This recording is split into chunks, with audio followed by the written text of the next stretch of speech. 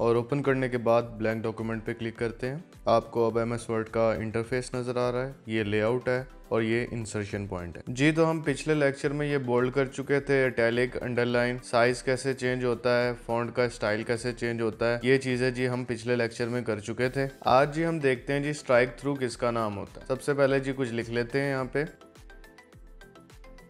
लिखने के बाद जी हम इसको सिलेक्ट कर लेते हैं माउस की मदद से। और सिलेक्ट करने के बाद आप यहाँ फॉन्ट के ग्रुप में देखेंगे, एक एबीसी लिखा हुआ है और उसके ऊपर इस तरीके से लाइन से कट हुआ हुआ है। इसको हम बोलते हैं जी स्ट्राइक थ्रू जब जी हम इस पे क्लिक करते हैं तो जो भी टेक्स्ट लिखा होता है उसके ऊपर ऐसे एक लाइन आ जाती है। यानी कि अगर आप ये शो करवाना चाह रहे हो कि ये वर्ड काटना है या किसी को आप फ़ाइल भेजते हैं तो कोई लाइन आपने काट के भेजनी है तो आप ये फ़ंक्शन इस्तेमाल कर सकते हैं। ठीक है जी तो ये था हमारा स्ट्राइक थ्रू का फ़ंक्शन इसके बाद देखते हैं जी सबस्क्रिप्ट क्या होती है? यहाँ मैं जी लिख रहा हूँ कुछ।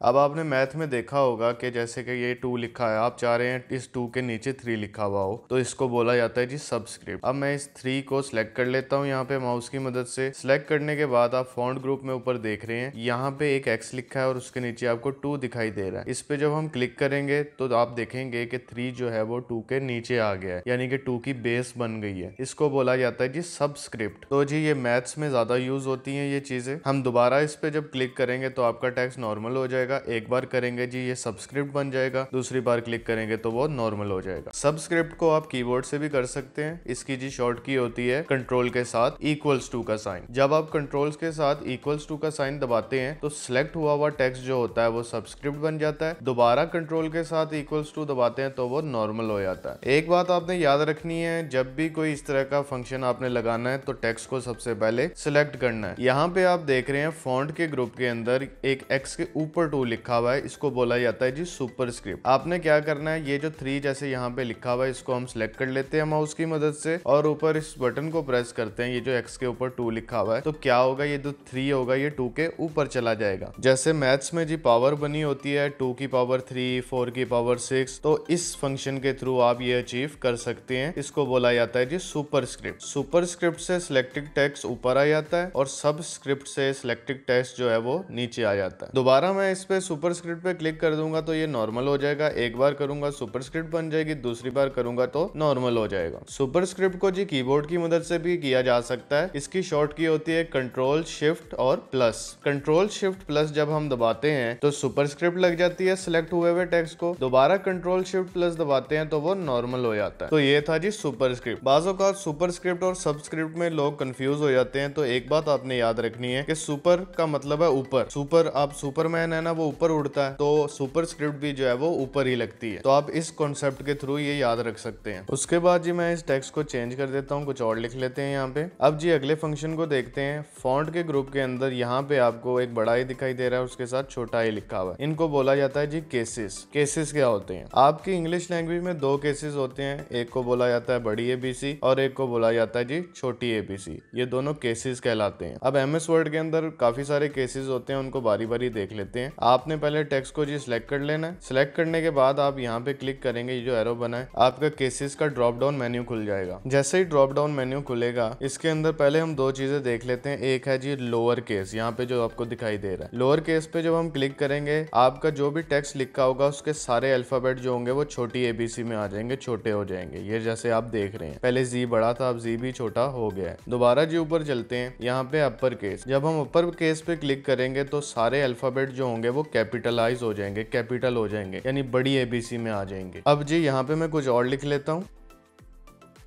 अब जी, ये जो टेक्स्ट मैंने लिखा है, इसको मैं सिलेक्ट कर लूँगा। सिलेक्ट करने के बाद आप ऊपर यहाँ केसेस में दोबारा चले जाएँगे। यहाँ पे पहले नंबर पे है जी सेंटेंस केस सेंटेंस का मतलब है जुमला। जुमला यानी कि हम जो इंग्लिश में जुमला बनाते हैं, उसमें क्या होता है? जब भी एक जुमला स्टार्ट होता है, उसमें सबसे पहला अल्फ़ाबेट जो होता है, वो बड़ा होता है, बाकी सारे अल्फ़ाबेट छोटे होते हैं। जैसे हम इस पे क्लिक करते हैं, आप देख रहे हैं जेमिनेशन का जी बड़ा हो गया, बाकी सारे छोटे हैं। क्योंकि इंग्लिश में जो भी आपका सेंटेंस स्टार्ट होता है, उसका पहला अल्फ़ाबेट जो होता है, वो बड़ा होता है, बाकी सारे अल्फ़ाबेट अल्फ़ाबेट वर्ड्स के छोटे होते हैं। तो ये था जी सेंटेंस केस जुमले का केस उसके बाद जी दोबारा केसेस में चलते हैं। यहाँ पे है जी capitalize each word capitalize each word पे जैसे ही हम क्लिक करेंगे तो क्या होगा? जितने भी आपने वर्ड्स लिखे होंगे, उनका पहला पहला हर्फ यानी पहला पहला अल्फ़ाबेट जो है वो बड़ा हो जाएगा। जेमिनेशन का जी बड़ा हो जाएगा। ट्यूटोरियल का टी बड़ा हो जाएगा और वीडियोस का वी बड़ा हो जाएगा। इसके बाद है जी टोगल केस टोगल केस क्या होता है? ये जो आप लफ्ज देख रहे हैं जेमिनेशन इसमें सारे हर्फ जो हैं वो छोटे हैं, सारे अल्फ़ाबेट छोटे हैं जी B E B M B ये सारे छोटे हैं।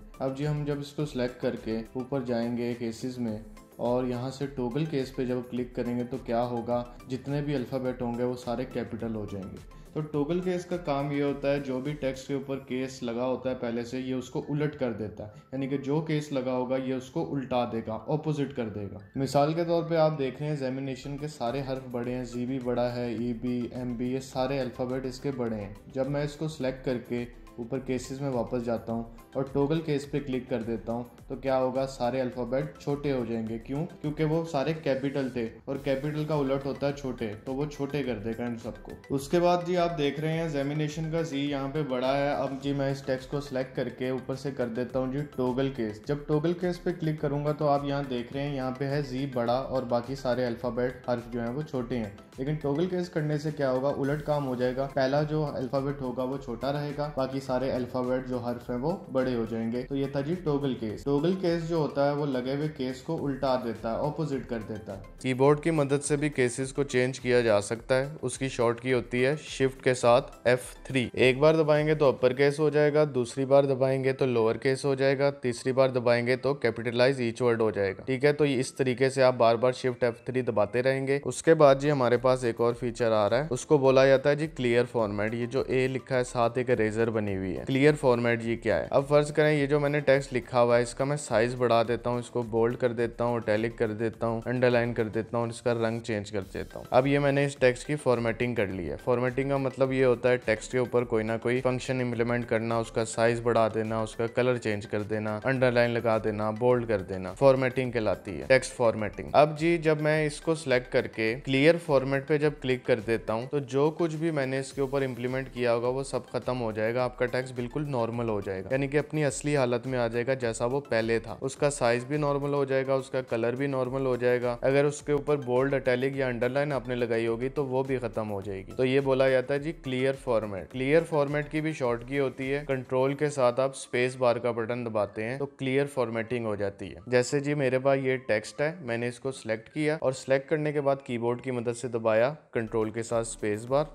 तो ये जो टेक्स्ट था, ये नॉर्मल हो गया। इसकी फॉर्मेटिंग क्लियर हो गई। हमारे पास ये नेक्स्ट फीचर आ रहा है हाईलाइट करने का। ये जो आपको फॉन्ट के ग्रुप में नज़र आ रहा है ए बी लिखा है और साथ एक येलो कलर की लाइन लगी हुई है। इसको बोला जाता है टेक्स्ट हाईलाइट करना। जैसे आप कोई तहरीर लिख रहे होते हैं रजिस्टर पे, कभी नोट्स बना रहे होते हैं, आप हाईलाइटर से उसको हाईलाइट करते हैं ना येलो कलर से या रेड कलर से, ताकि आपको याद रहे। कोई भी खास लफ्ज को आप हाईलाइट कर देते हैं। तो यहाँ एम एस वर्ड में भी आप हाईलाइट कर सकते हैं। आपने क्या करना है, सबसे पहले टेक्स्ट को सिलेक्ट कर लेना है। सिलेक्ट करने के बाद ऊपर यहाँ हाईलाइटिंग के साथ एक एरो बना है, उस पर क्लिक करेंगे। डिफरेंट कलर आ जाएँगे। आपने जिस कलर का जो हाईलाइट करना है, आप यहाँ से उसको सिलेक्ट करें, जैसे येलो ग्रीन अब आप नीचे देख रहे हैं टेक्स्ट पे भी इम्प्लीमेंट होता दिखाई वो दे रहा है। अगर मैंने येलो करना है येलो पे क्लिक किया तो देखेंगे टेक्स्ट आपका येलो कलर का हाईलाइट हो गया। आपने अगर टेक्स्ट की हाईलाइटिंग खत्म करनी है तो उसको सिलेक्ट करेंगे और यहाँ दोबारा जाएँगे हाईलाइट में और नो कलर पे क्लिक कर देंगे हाईलाइटिंग खत्म हो जाएगी। आपने एक बात याद रखनी है, जब भी अगर आपने हाईलाइट लगाई होगी और आप उस टेक्स्ट को जब सिलेक्ट करेंगे और साथ क्लियर फॉर्मेट का बटन दबाएँगे तो हाईलाइटिंग खत्म नहीं होगी। क्लियर फॉर्मेट करने से टेक्स्ट की सारी फॉर्मेटिंग खत्म हो जाती है, लेकिन हाईलाइट खत्म नहीं होती। उसके बाद ये फॉन्ट के ग्रुप का लास्ट फीचर यहाँ पे मौजूद है टेक्स्ट के इफेक्ट्स ये जो ए लिखा हुआ है ब्लू कलर का, ये है जी टेक्स्ट के इफ़ेक्ट सबसे पहले हम टेक्स्ट को सिलेक्ट कर लेते हैं और यहाँ पे क्लिक करते हैं तो आपको डिफरेंट स्टाइल नज़र आ रहे हैं टेक्स्ट के। जौन सा स्टाइल आपको पसंद आ रहा है, आप उस स्टाइल पे क्लिक करेंगे। जैसे यहाँ पे ये येलो वाले पे क्लिक करते हैं, आपका टेक्स्ट वैसा हो जाएगा। ये है जी टेक्स्ट का स्टाइल ये दोबारा से इसको सिलेक्ट कर लेते हैं टेक्स्ट इफ़ेक्ट में वापस चले जाते हैं। यहाँ पे है जी फ़ंक्शन आउटलाइन का। आउटलाइन होती है टेक्स्ट के बाहर वाली लाइन हम यहाँ पे कलर चेंज कर सकते हैं। आउटलाइन का अगर मैं रेड कर दूँगा यहाँ से या आप ब्लू कर देंगे तो क्या होगा? टेक्स्ट के बाहर जो आपको लाइन नज़र आ रही है, वो ब्लू हो गई है। आप देख रहे हैं। बाहर की लाइन ब्लू है और अंदर येलो है। तो आउटलाइन होती है जी बाहर वाली लाइन उसके बाद जी सिलेक्ट करते हैं, वापस टेक्स्ट इफ़ेक्ट में चलते हैं। यहाँ पे है जी शेडो शेडो होता है साया. अगर आप चाह रहे हैं कि टेक्स्ट के पीछे थोड़ा सा साया दिखाई दे तो आप यहाँ से कर सकते हैं. यहाँ पे शेडो के भी डिफरेंट स्टाइल देखे मौजूद है. आपको जो साया यहाँ से पसंद आ रहा है, आप उस पर एक बार क्लिक करें तो आपके टेक्स्ट के पीछे साया लग जाएगा. इस पे क्लिक कर देते हैं. अब देखें टेक्स्ट के पीछे एक शेडो आ गया. साया आ गया. दोबारा जी इसको मैं सिलेक्ट करके टेक्स्ट इफ़ेक्ट में जा रहा हूँ वापस. यहाँ पे है जी ऑप्शन रिफ्लेक्शन की. रिफ्लेक्शन बोलते हैं अक्स को. जैसा आपका पानी में अक्स दिखाई देता है, उसको रिफ्लेक्शन बोला जाता है. यहाँ पे डिफरेंट स्टाइल दिए हुए हैं. जौन सा जी, आपको पसंद आ रहा, आप उस पर क्लिक करें तो टेक्स्ट के नीचे वैसा रिफ्लेक्शन आ जाएगा। अब आप देख रहे हैं, यहाँ पे ये साया दिखाई दे रहा है टेक्स्ट का। फिर से जी सिलेक्ट करके टेक्स्ट इफ़ेक्ट में और चीज़ें देख लेते हैं। फिर है जी ग्लो ग्लो होती है चमक। अगर आप चाह रहे हैं कि टेक्स्ट के बाद थोड़ी सी चमक लग जाए तो आप इस पे क्लिक करेंगे। जैसे यहाँ पे रेड वाली चमक मैं चाह रहा हूँ, क्लिक किया तो आप देख रहे हैं यहाँ पे ग्लो आ गई है। टेक्स्ट के बाद इस तरह से रेड कलर की चमक आपको दिखाई दे रही है। जी मैं इसको सिलेक्ट कर लेता हूँ टेक्स्ट को।